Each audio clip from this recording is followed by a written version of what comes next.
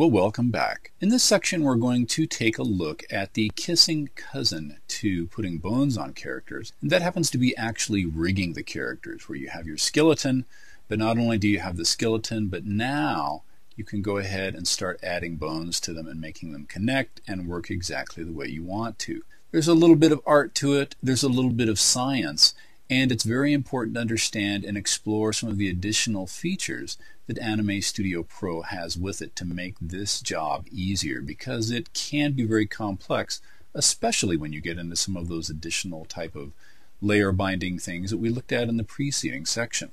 Let's go ahead and take a look at a basic scene setup right now.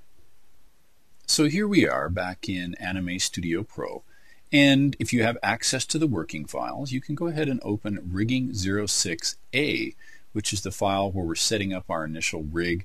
There's also one included in here that's the completed one if you just want to jump to it and take a look at that. Before we get into actually starting to connect and rig a character together, I did want to cover some very important best methods when you start designing your character. That's something we haven't talked about so far. One of the best things to do, and I'll activate it now, is to simply do a quick sketch. This is a digital sketch that I did with a tablet and Painter. You can use Photoshop, you can use some of those other programs that have, you know, bitmap capability. So you can go ahead and quickly get some ideas down and work on top of it. It's just smart. It takes a little bit of time to do it, but it saves so much time instead of just drawing straight out of the box right inside Anime. We have a slightly dismembered character here, and that's quite intentional. As we start putting characters together, we need to do it in moving body parts. Now, while I can go ahead and separate the arms in my sketch, and I keep them close together here just for the sake of scale, things like the head, oh, I like to actually have that on there. Drawing, uh, you know, completely dismembered characters, it's a little unsettling. However, doing this, I understand that the legs are going to be separate, the actual hip section will be a separate element.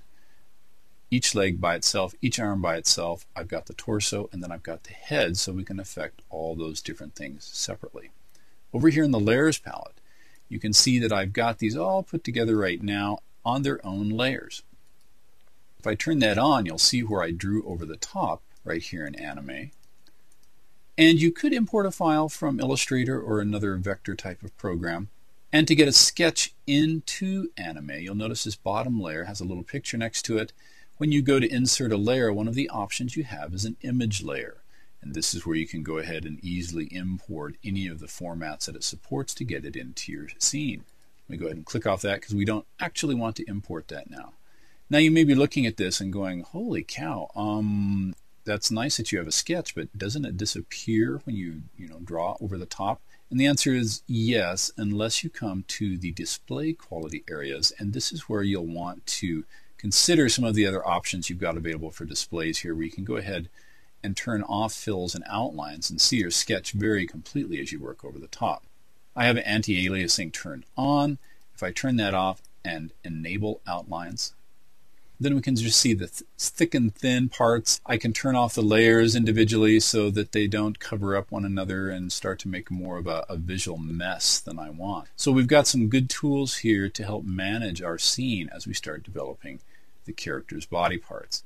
Also, in an earlier section, we took a look at how to apply styles to a character, and that's something that I did here. I set up some basic styles for skin tone, shadowed skin tone, this kind of leather or cloth, and then the shadowed one. So if I want to change it later on, it's just a question of working with the styles. And since we already covered that in an earlier lesson, I won't do that right now.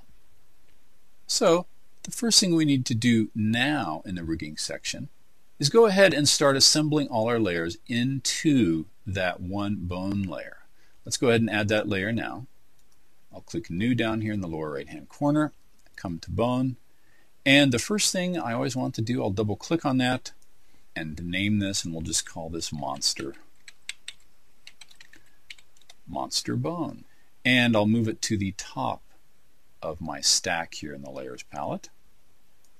Let me make sure I get that all the way to the top and drag that up there. The next thing is to get each one of these layers into that. Now, the order that these stack in is very, very important the right arm. And so you know what I'm talking about. When I'm looking at the screen and at the character, I'm talking about the character's right arm, not the right arm as it appears to me on the screen. This is kind of a small distinction, but very important, and it's good to get in the habit if you want to call the arm on the right side of the screen the right arm. Great, more power to you. Just make sure you do it consistently on each of the files you build so you don't have a headache later on.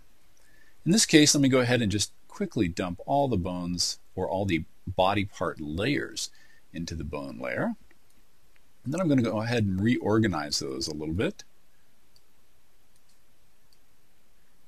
And we'll get to it. The monster sketch layer I can go ahead and turn off right now. We don't need to see that. We have got some issues going on, like the head is behind the body. A little more unsettling type of things. We'll come to head here and move that up to the very top. So that covers the torso. The torso I want to be ahead of the hips because we've got this kind of bulging stomach that I want to hang over the front of that a little bit. But now with the left arm, the character's left arm, I want that to be in front of everything else except the head, or maybe even the head if the character raises the arm up. So I need to go ahead and grab the left arm and drag that up even above the head. Now as I'm looking at this, I want the arm to be all the way in the back there, so the character's right arm I need to get in here. We'll drag that down to the bottom a little bit, and that's going to go behind torso, behind everything else.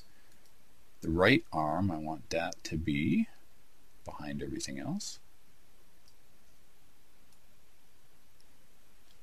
So I've got right leg back behind, I've got right arm back behind, torso, hips, left leg out in front, and I may want to put that back behind. You know, actually, I think I'll do that right now. Sometimes you just have to see how it's going to work, how it's going to play out in your scene a little bit. Okay, we're set right there. In our next movie, we're going to go ahead and start working with rigging the parts together.